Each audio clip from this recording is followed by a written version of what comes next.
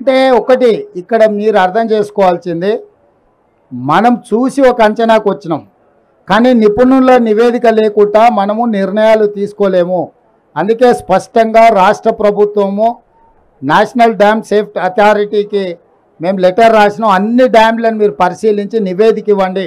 ఇవి రిపేర్ చేయొచ్చా రిస్టోర్ చేయొచ్చా లేకపోతే శాశ్వతంగా వాటిని తీసేసి కొత్తవి కట్టాలనా?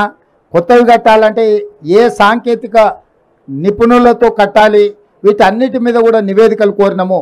నిన్న మొన్న మీరు అసెంబ్లీలో టీఆర్ఎస్ వాళ్ళ మాటలు చూశారు.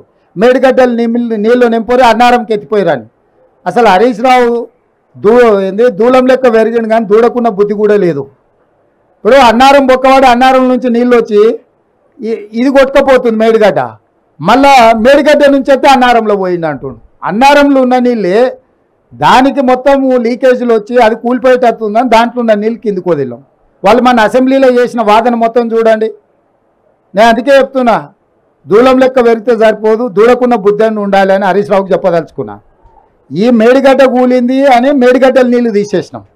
ఇప్పుడు అన్నారం కూలేటట్టు ఉందని అన్నారంలో ఉన్న నీళ్ళు తొలగిస్తే మళ్ళీ మేడిగడ్డ లాపంటే ఎత్తి అన్నారంలో పోయాలంట. అసలు ఏమన్నా మెదడు ఉండే ఆలోచన? అందుకే వాళ్ళు ఏందనంటే చేసిన తప్పులను కప్పిపుచ్చుకోవడానికి ఎదురుదాడే ఒక మంచి విధానం అన్నట్టుగా వాళ్ళు ఒక ఆలోచన చేస్తున్నారు కాబట్టి ఇప్పుడు స్పష్టంగా నిపుణుల నివేదికలు వచ్చిన తర్వాత మీరు చెప్తున్న ప్రతి అంశాన్ని పరిగణలోకి తీసుకుంటాం. ఏదేమైనా మహారాష్ట్ర ప్రభుత్వాన్ని ఒప్పించి తొమ్మిడిహెట్టి దగ్గర పాత ఒరిజినల్గా ఏదైతే డిజైన్ చేసినామో ఆ రోజు అక్కడ అది నిర్మించడం ద్వారా గ్రావిటీ ద్వారా ఎన్ని ఎకరాలకు నీళ్ళు ఇవ్వగలుగుతాం? వాటిని కూడా మా సాగునీటి నిపుణులు ఈరోజు అంచనాలు వేస్తున్నారు. తప్పకుండా వాటి అన్నిటిని దృష్టిలో పెట్టుకొని చేస్తాము. గోదావరి జలాలను పూర్తి స్థాయిలో ఉత్తర తెలంగాణకే కాదు అవసరమైతే దక్షిణ తెలంగాణ ప్రాంతానికి కూడా నీళ్ళను వినియోగించుకోవడానికి కార్యాచరణ చేపడతాము. మేము హడావిడి చేయము అపరం మేధావులం అని మేము చెప్పుకోము. ఎనభై వేల పుస్తకాలు చదివినామని అసలే చెప్పం. ఎందుకంటే ఎవరు చేయాల్సిన పని వాళ్ళే చేయాలి. మీకు తెలుసు కదా దోపిక కదా నాకు గరక నాకు ఘాట్కా అని. గాడిద చేయాల్సిన పని గాడిద చేయాలి కుక్క చేయాల్సిన పని కుక్క చేయాలి.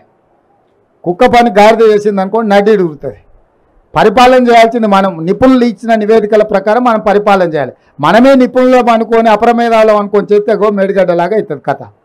కాబట్టి కొంత ఆలస్యమైన దాన్ని పక్కడబందీగా చేయాలనేది మా ఆలోచన. తప్పకుండా ఆ ప్రాంతం నుంచి వచ్చిన మంత్రివర్యులు శ్రీధర్ బాబు గారు ఉన్నారు. పూర్తిగా దాని మీద నిరంతరం పర్యవేక్షిస్తున్నాం. దాన్ని తప్పకుండా మంచి జరిగేటట్లనే నిర్ణయం ఉంటుంది.